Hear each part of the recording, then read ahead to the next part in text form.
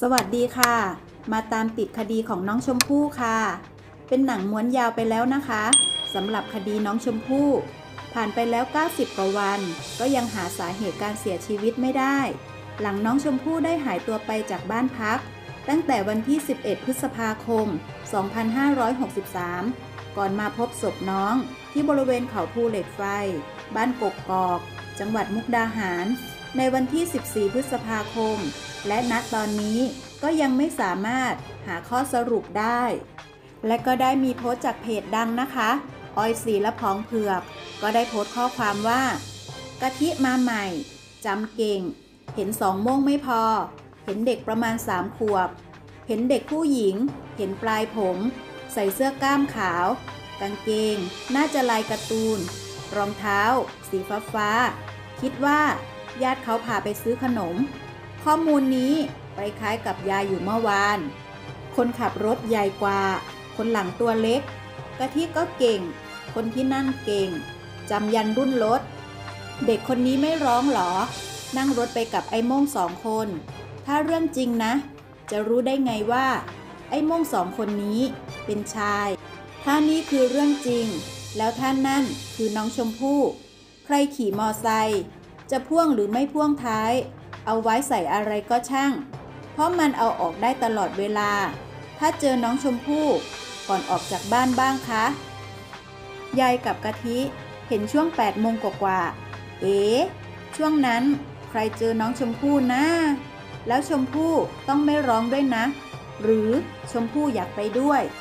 จากนั้นนะคะ ก็มีประชาชนในโลกออนไลน์ ก็ต่างพากันเข้ามาแสดงความคิดเห็นเกี่ยวกับเรื่องนี้มากมาย อาทิเช่น ถ้าเป็นน้องชมพู่นั่งมอไซค์ไปจริง ๆ งั้นสดิ้งก็โกหกสิ ถ้าเป็นชมพู่นั่งมอไซค์ไป เพราะสดิ้งบอกน้องหาย9โมงกว่า พิรุษเยอะมาก ยิ่งดูข่าว ยิ่งจับพิรุษ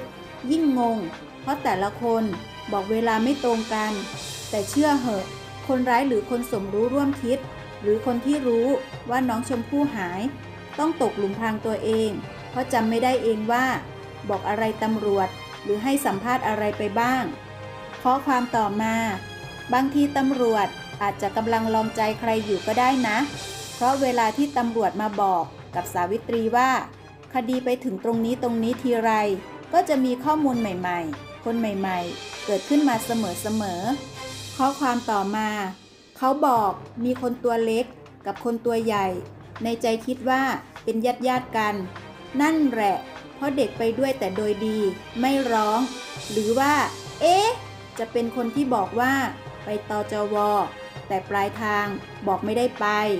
ข้อความต่อมา มีคนออกมาให้ข้อมูลเรื่อยๆ ถ้าบอกตำรวจไปตั้งแต่เกิดเรื่องใหม่ๆ หมายความว่า คนทำต้องวางแผนมาอย่างดี ไม่งั้นคงจับได้นานแล้ว และคงหาจุดเชื่อมโยง เช่น DNA หรืออะไรก็ตามที่เป็นนิติวิทยาศาสตร์ มันไปไม่ถึงคนทำตำรวจก็เลยต้องหาพยานแวดล้อม ซึ่งมันยากมาก ถึงจะมั่นใจว่า ใครทำใครรู้เห็น จับไปก็หลุดอยู่ดี เพราะหลักฐานน้อยมาก น่าสงสารเด็กน้อย แสนน่ารักคนนี้จริงๆแฮชแท็กทำกรรมอะไรกับเขามาหรอลูก เขาถึงทำร้ายหนู อย่างโหดร้าย แล้วยังจับเขาไม่ได้อีก และเพจออยสีและผองเผือก ก็มีโพสต์อีกว่า เผือกก็สีม่วงม่วง ลองเสิร์ชหาดู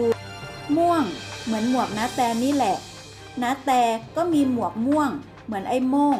ที่ยายอยู่และยายกะทิเห็นเอาเด็กไปเลย บาบาบาบาบาหมวกม่วง ใครๆก็มี และประชาชนในโลกออนไลน์นะคะ ก็ได้ออกมาแสดงความคิดเห็นว่า เหมือนอะไรอะไรจะลงที่นาแต่เด๊ะๆหลายอย่างแล้วนะ มันก็เป็นความบังเอิญที่ลงตัวเหลือเกิน นี่ถ้าสมมุตินะว่า เป็นน้าแต่จริง บอกเลย โคตรเลือดเย็น น่าชื่นบาน ไม่สำนึกเลย แถมตีเนียน ข้อความต่อมานะคะ เสื้อส้ม ใครก็มี หมวกม่วง ใครก็มี แหวน ใครก็มี